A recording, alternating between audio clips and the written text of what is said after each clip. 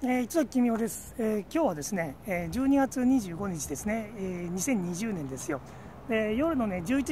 時43分なんで、えー、クリスマスに、えー、キリスト教の話をというね、えー、それはまあギリギリになっちゃいましたけども、えー、と宗教と呪術の違いについてという話をしようと思いますけども、あのー、やっぱりねおしなべてみんなが宗教宗教って言ってるものは実はね結構呪術だったりするんですよねで呪術と宗教っていうのは違うんですけども、まあ、その違いっていうのもね私も、えー、実はずっと混同していたところがあったんですけどもだから僕はあの宗教っていうものに興味持ち始めたのは大学卒業してしばらくしてからなんですけどもあの文化人類学の本を結構読んでたんですよね。でそうすると、まあ、いわゆる未開部族の宗教について、まあ、あの未開部族ってねいろんな神話を持っていてその内容がすごく、えー、それぞれ、まあ、面白いんですよね。あの非常に高等無形だったりとかシュールだったりとかしてね。で、まあ、そういうものが宗教、まあ、普通に原始宗教と言われるものですけどもそういうものが宗教だと思っていたんですけども、まあ、その後その、まあ、それこそ聖書を読んだりとかね。あとまああの初期仏典とか読むに至って、まあ、呪術と宗教というそういう原始宗教と、えー、いわゆる宗教というものは、まあ、明確に区別されているんだということがだんだん分かってきたんですよ。でそもそもあの特に旧約聖書ですけどねあの、まあ、呪術というものを、えー、まあ、批判批判してるわけですよね。否定しているわけですよね。だから出エジプト記なんか見るとエジプト人がその呪術師を呼んで、えー、魔法を使うわけですよね。確かなんか蛇かなんかを出したんですけどもそれを神が退けたみたいな話が出てきてまあ一般的にもその、えー、まあ、もちろんですけどねあの専門家の専門家っていうか、ま、宗教家の信仰者の間ではその呪術と、えー、宗教というのはまあ、区別されているし、まあ、本当にそれこそが宗教だと。呪術から区別されるのが宗教だというふうにして言えるわけですよね。だからあの、まあ、旧約聖書でもっと分かりやすく言うとその偶像崇拝の否定ということを、えー、旧約聖書では特にですね、えー、言われているわけですよ。だからこのモーセの実会というのもそのモーセというね預言者ですね。えー、その人がその神様から、えー、実会の石板をもらってくるわけです。銃の戒めの、ね、何時殺すなかれっていうね。あとその神様以外を崇めてはならないというねあの教えがあるわけですよね。あ唯一唯一の神。ちょっと僕ちょっとうろ覚えでクリスチャンじゃないんでね。あのうろ覚えで申し訳ないんですけども、えー、とにかくあの神様以外を崇めてはならないとそういうものに惑わされてならないというね戒めがモーセの実会の中に入ってるんですけどもモーセの実会が、えー、市内山に、神様からねその石板をもらってきて麓から降りてくるとその,、え、その当時のユダヤの人たちはその偶像を拝んでいるとね子牛の像を、え、勝手に作って拝んでいるとでどんちゃん騒ぎをしていると。でモーセは怒ってその石板を破壊してしまって もう一つもう一回すいません壊しちゃったんで神様もう一枚石板くださいっつってお願いしに行くっていうねそういうなんか 面白いエピソードがあるんですけどもそれぐらいその呪術と宗教っていうのは区別をされているとで呪術から区別されるところでこう宗教というものの本質がこう喫立しているわけなんですよね。それでその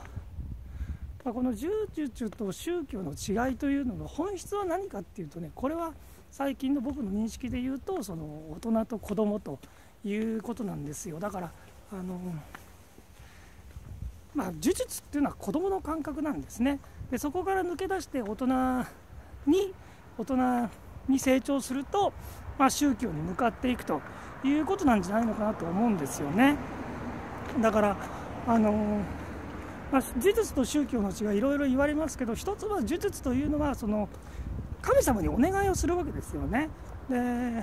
まあ、普通に神頼みっていうのをするしそれが宗教だというふうにしてみんな思っているのかもしれないですけども、まあ、これから正月になって初詣に、まあ、今年コロナだから初詣なかなか行きにくいんですけど一応神様に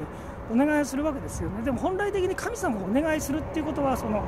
神様を自分の召使いのように刺激するっていう言い方があるんですよね。だからあのまあモーセの実会の中にもあの神の名をみだりに唱えてはならないという戒めがあるんですけどその神の名を唱えるっていうことは神様にお願いするということでだから神様みたいな偉いお方に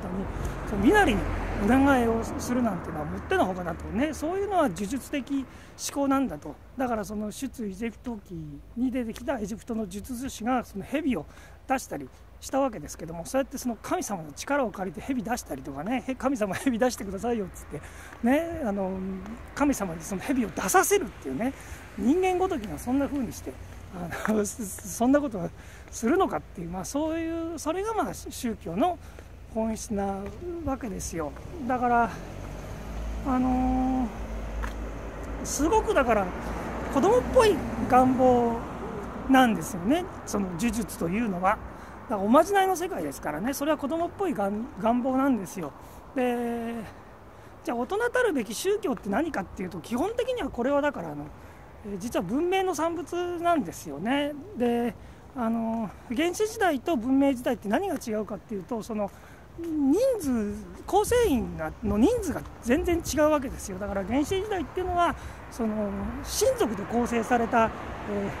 ー、数十人百数十人せいぜい200人程度の集団だったわけですよ。でそうするとみんな顔見知りなわけですよね。でその中ではこう和気あいあいと、まあ、みんな暮らすことができるわけですよ。まあいろいろ問題はあるのかもしれないですけども。でも文明段階になるとその、まあ、みんなでこう協力してえー、だからそういうもともと原始時代でバラバラに暮らしていた部族たちを取りまとめてで、えー、より大きなこの、えー、人数による人間の集団を作るわけですよね。でそうする中でその、えー、数十人ではできなかった、え数百人程度ではできなかった大事業をね、え農業大規模な農業をしたりとかあと、まあ、都市を作ったりとかね、えまあ、こういう現代文明にしたってそのまあ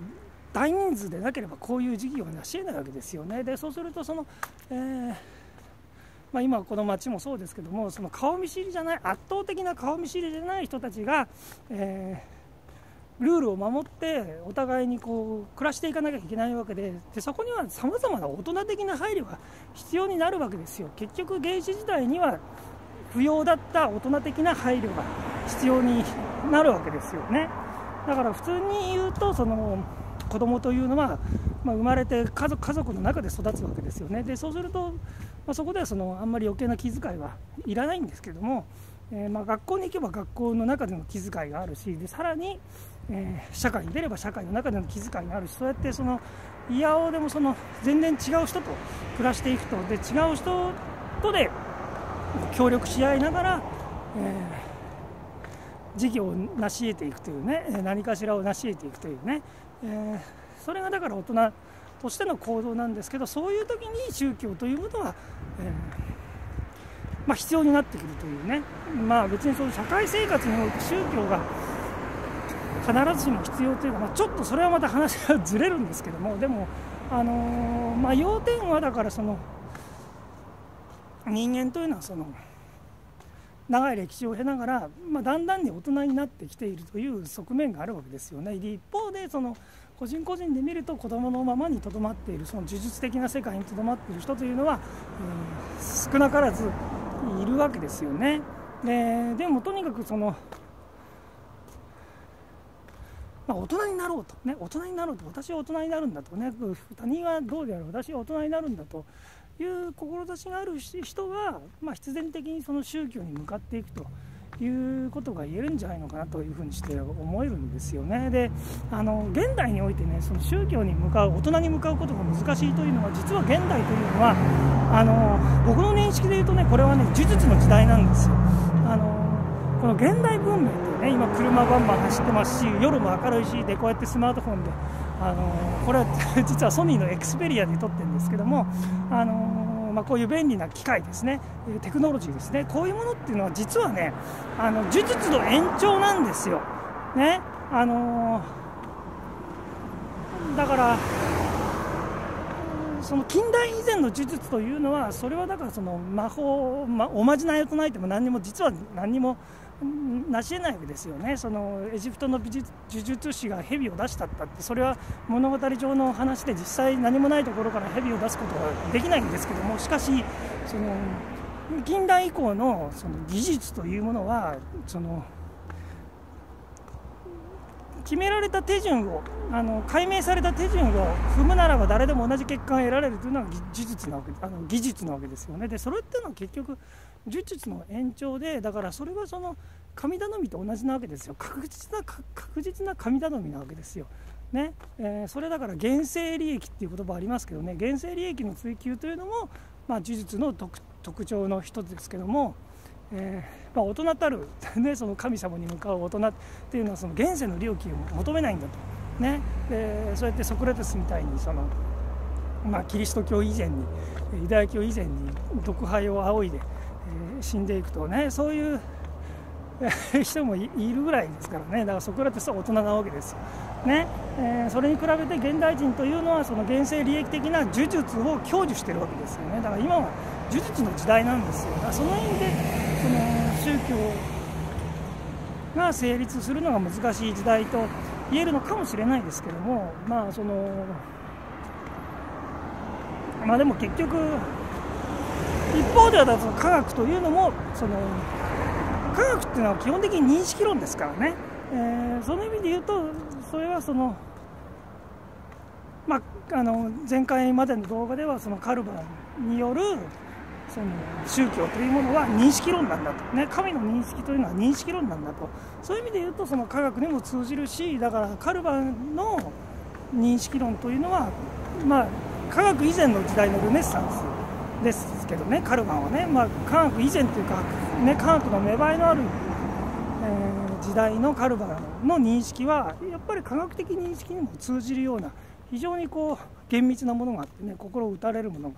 あるわけですよね。やっぱ厳密さっていうのも、そのあの敬虔な態度、宗教的な経験な態度というものに通じるところがあって、でそれはだから、あのフッサールのような哲学者あと、マックス・ウェーバーもそうですけど非常に厳密なんですよねでそういう厳密な中から、えー、その神の名を唱えていない哲学者や社会学者の敬虔な精神というのを私はね感じ取ることができるわけなんですよね。えー、ということで、えー、ギリギリクリスマスにクリスマスっていうかギリギリクリスマスに宗教の話をしたとね、えそういうことでありました。